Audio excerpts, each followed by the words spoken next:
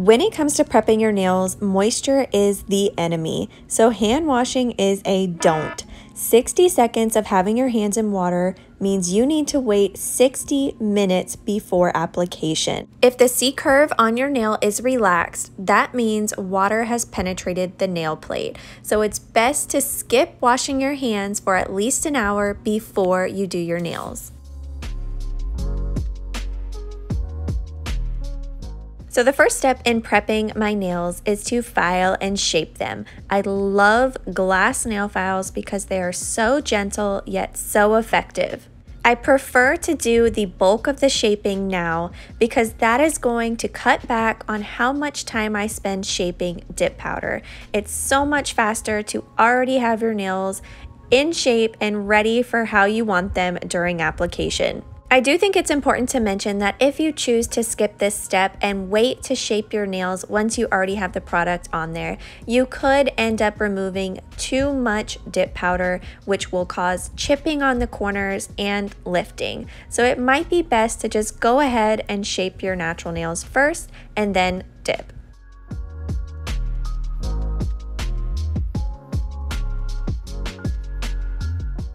So first up is this little wooden tool, and this is going to be a don't. These are really not that effective. I do not suggest using them. If you're using one now and you're experiencing lifting, it is very likely that it is because of this tool and it not removing enough on your nail plate. Next up is the metal cuticle pusher. As you can see, mine is very dirty. I now use this for art. I actually use this for years, and this is also going to be a don't. It was scratching my nail plate. I did not realize that it was damaging my nail plate, and it really is not the most effective option. So this Holy Grail product is the glass cuticle pusher, and it is an absolute game changer. When I switched from the metal cuticle pusher over to this glass, my nails were healthier. I didn't experience any lifting. You guys are to see here in just a minute just how effective it is.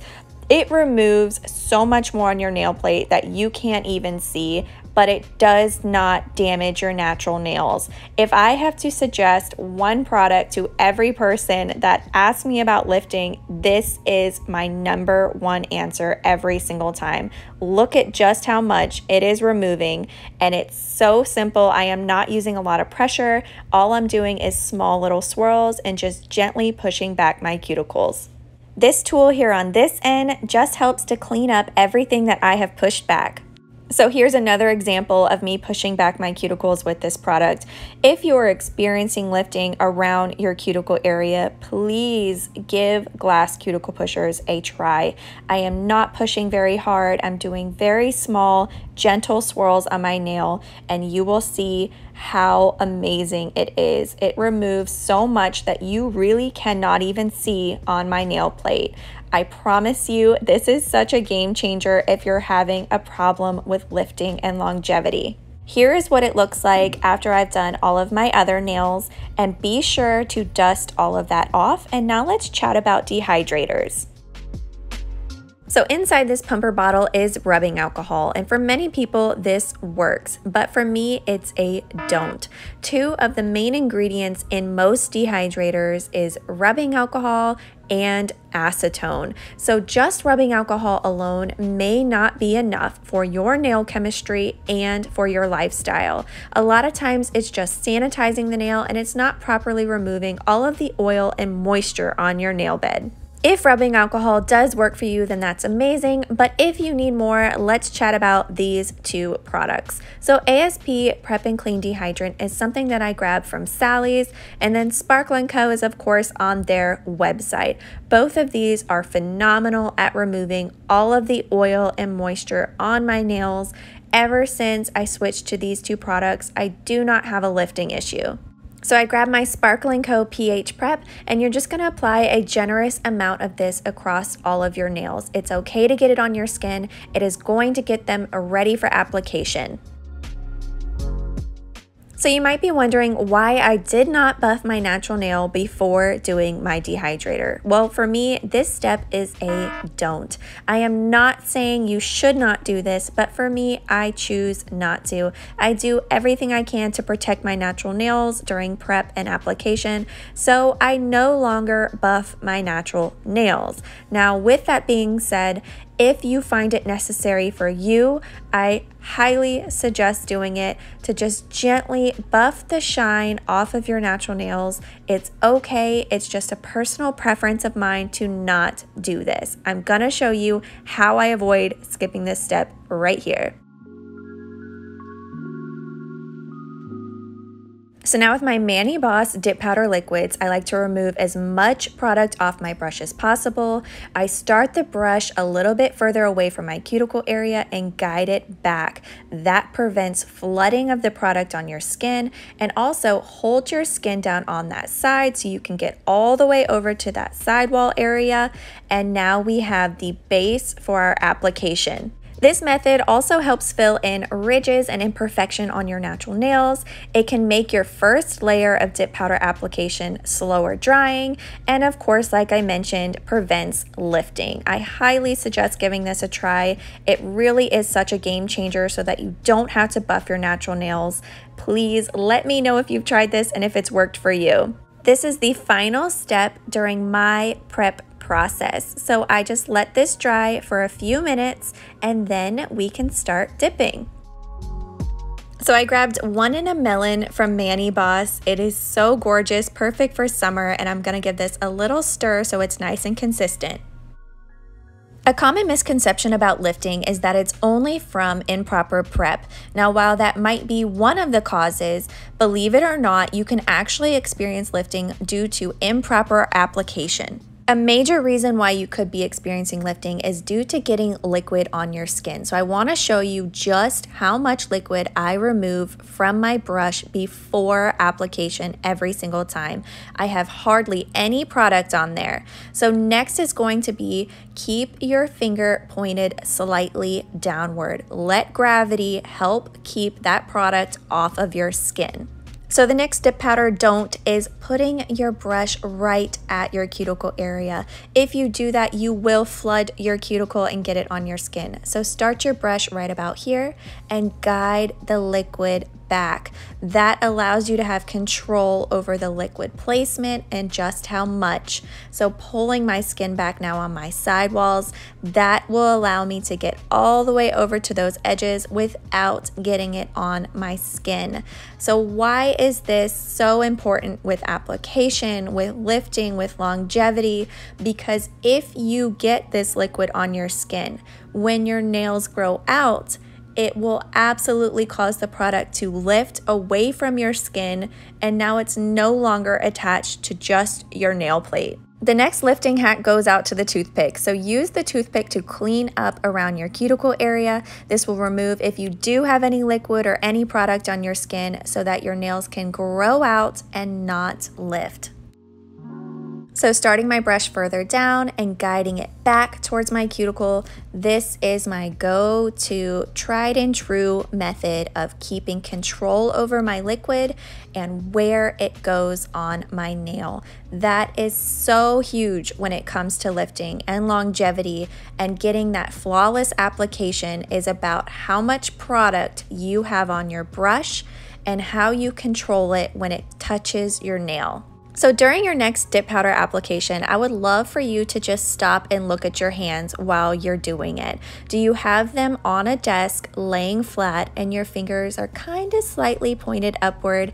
Something so small as that can really make such a difference. If you have your fingernails pointed a little bit up, gravity is going to make that liquid touch your skin. So if you can, angle your fingers down just a little bit and it will make a huge difference. And when in doubt, grab a toothpick to clean up any product or mistake.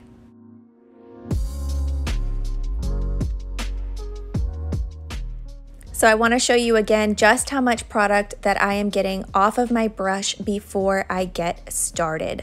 So with this second layer, I like to use this first layer as my guide of where I want my product to go. And of course, pulling my skin down on the side, being cautious not to get any of this on my skin. And this will really make such a huge impact on your longevity of the product and overall application.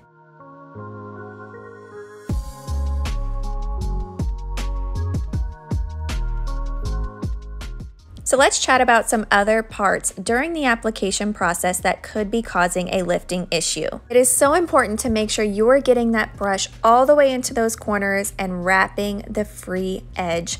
That way the dip powder can do what it's meant to, which is to add strength and properly adhere to your nail.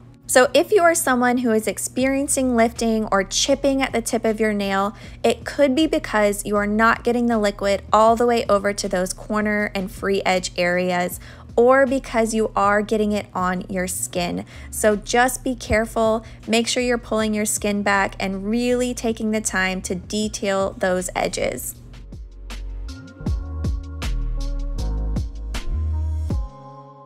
Please give yourself grace and remember that we are DIY self taught users, so don't be afraid to go slow. I know it can be so frustrating and you sometimes only have such a small window of time, but it's really important to go slow so that you can keep control over the product, where you're putting it, application, all of it.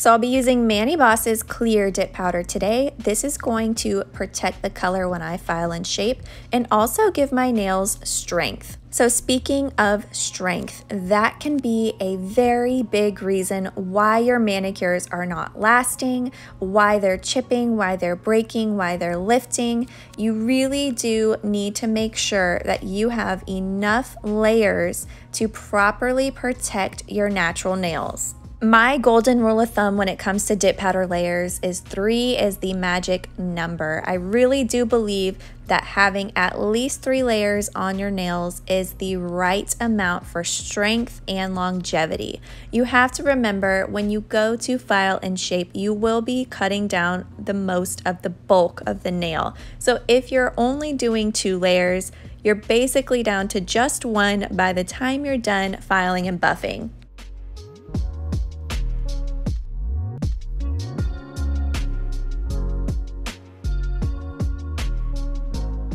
Now that I'm done clear encapsulating all of my nails, I'm going to activate. So activator is the product that will harden your nails so that you can file and shape. It's best to go back through after you've done one layer and do another, just to make sure that it fully penetrates through all of the dip powder and product. After two minutes have passed, then you can go ahead and file and shape. I am all done buffing and shaping my nails, so let's talk about top coat. So if you're using a dip powder top coat, then your next step would be to activate. But I repeat, do not wash your hands. Do not do that. I don't care what the instructions say. Don't wash your hands before you do top coat. Because I'm using a gel top coat, I have my rubbing alcohol here and a lint-free wipe. So this is just gonna remove any residue or anything left over on my nail so that the gel top coat can properly adhere. I'll be using Mani Boss's 2-in-1 gel base and top coat today. So I'm showing you just how much product I remove off of the brush to get started. And following those same application steps, I guide the liquid back towards my cuticle area. There can be a lot of issues when it comes to gel top coat and peeling, but this product is phenomenal because it is a two in one. So it really does grab onto a dip powder nail perfectly. You don't have to worry about it being too smooth, and it makes the application process so fast.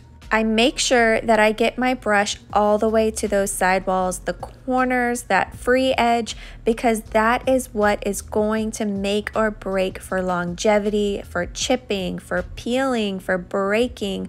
all of it. This top coat is what will protect your dip powder manicure so that it can last for weeks.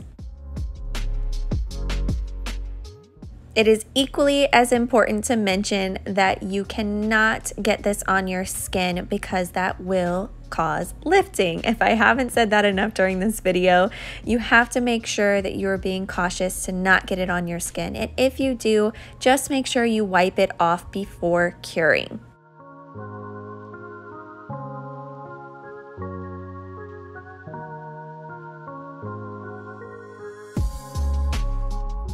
If there is one thing that I could stress the most during this video, it is that moisture is the enemy.